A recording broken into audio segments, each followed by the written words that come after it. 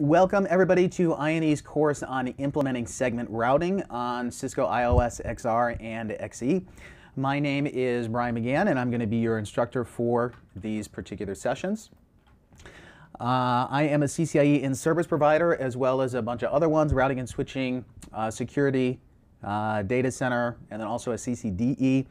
Um, so I have a bunch of experience with MPLS, probably about, the past 10 years. Service provider, actually longer than that. Uh, service provider I took back in 2006, so that's 13 years ago going on now.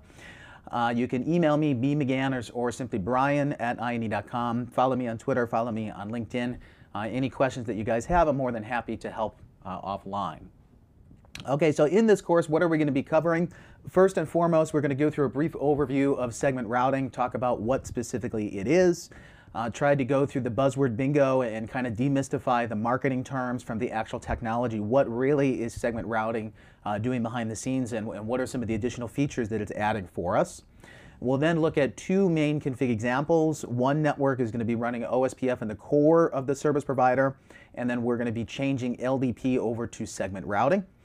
Then we'll have another example with ISIS routing, so very similar to, uh, to OSPF, what's going on behind the scenes. But of course, from a configuration point of view, there's going to be some differences, key differences between a regular uh, OSPF version 2 and then ISIS. Okay, then last but not least, we're going to take a look, a brief example with MPLS traffic engineering and look at how that changes just a little bit when we're dealing with segment routing as opposed to regular uh, MPLS.